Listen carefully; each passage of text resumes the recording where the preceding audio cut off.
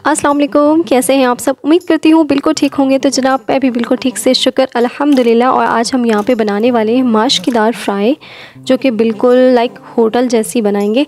लेकिन हल्का सा थोड़ा सा डिफरेंस रखेंगे हम। क्या डिफरेंस होगा, किस तरीके से बनाएँगे फुली मेथड आपके साथ शेयर करने वाले हैं। सो वीडियो बिल्कुल भी स्किप नहीं करनी है। और लाइक अगर पसंद आए तो कीजिएगा, ठीक है? सब्सक्राइब तो ऑलरेडी आप लोगों ने किया हुआ है। जिन्होंने नहीं किया है, जो नए हैं हमारे चैनल पे तो वो भी कर दीजिए। नहीं पसंद आ रहा तो कोई ज़बरदस्ती वाला नहीं है, ठीक है? सबसे पहले हमने माश की दाल लेनी है उसको सबसे पहले आपने क्लीन करना है, फिर आपने उसको धो लेना है और सोक कर देना कम से कम भी बहुत ज़्यादा नहीं, आधे घंटे के लिए आपने उसको भिगो के रख देना है, ठीक है?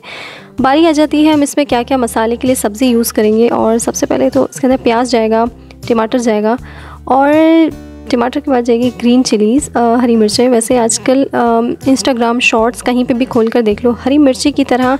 वो कहते हैं कि वैसे तुम बहुत अच्छी हो, पर तुम्हारी जो है ना, ये तीखी सी ज़बान का हमें दुख है। लाइक मिर्ची जैसी ज़बान लड़कियों की कहा जाता है। हाँ है तो है भाई, क्या कर सकते हैं? तो और प्याज जो है ना, वो कह रहे हैं, सऊदी अरब में बहुत ज़्यादा महँगा हो गया भाई। प्याज मतलब अब प्याज भी बंदा ना डाले मतलब क्या हद हो गई है? वो लोग कह रहे हैं कि काजू पिस्ता डाल लो बट प्याज ना डालो। ठीक है? तो जनाब, यहाँ पे जो हमने दाल भिगो के रखी थी, इसको आधा घंटा हो चुका है। इस तरीके से थोड़ी सी सोक करने पे फूल जाती है। क्या करना है? हमने इसको बॉईल करना है। किस तरीके से बॉईल करना है? सिंपल बॉईल नहीं करना है। थोड़ा सा डिफरेंट मेथड है मेरी रेसिपी का। ज़रूर देखिएगा। दाल को हमने पैन में डालना है। उसके बाद बॉईल आने के बाद उसके ऊपर एक झाग आ जाती है वाइट कलर की। ये लेयर आपने हटा देनी है रिमूव कर देनी है। जो बिगनर्स हैं, उनको छोटी छोटी टिप्स एंड ट्रिक्स का नहीं मालूम होता है, जो कि मैं आपके साथ शेयर करने वाली हूँ। इसके अंदर हमने हरी मिर्चें डाल देनी है, दो से तीन काट कर हल्दी डाल देनी है और नमक डाल देना है। ये तीन चीज़ें डालकर हल्का सा मिक्स करना है और इसको आपने नॉर्मल आँच पे, हल्की आँच पे बॉईल नहीं करना है। कम से कम सिर्फ़ 10 मिनट 10 से 12 मिनट आपने इसको बॉईल करना है, थोड़ी तेज़ आँच पर, ठीक है? हल्की आँच नहीं रखनी क्योंकि हमने दाल को नरम नहीं करना, ठीक है? देन अब एक पैन में हमने लेना है अलग से ऑयल ऑयल तकरीबन एक कप के बराबर लेना है, ठीक है?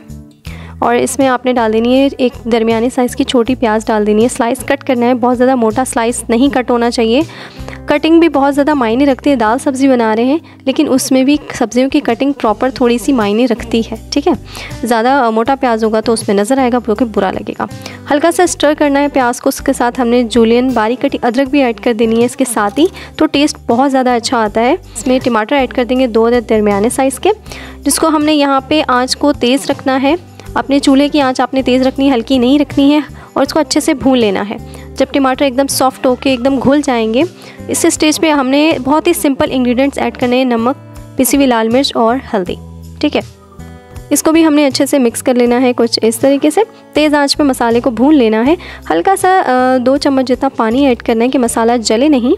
और फिर हमने जो दाल को बॉईल किया था एज इट इज़ पानी के समय ही हमने इसके अंदर ऐड कर देनी, क्योंकि पानी के अंदर टेस्ट होगा दाल का, ठीक है? वो हमने उसको वेस्ट नहीं करना है। दरमियानी आँच पर हमने इसको कवर करके छोड़ना है देन हमने इसके अंदर बिल्कुल ये रेडी है, ठीक है? हमने हल्का सा ग्रेवी के साथ हमने दाल को बनाना है, इसके साथ ही हमने इसके अंदर चौथाई चाय का चम्मच, पिसा वगैरह मसाला हरी मिर्चें बारीक कटी हुई जूलियन साइज़ में और फ्रेश हरा धनिया एकदम से ऐड कर देना है। हल्का सा मिक्स करना है।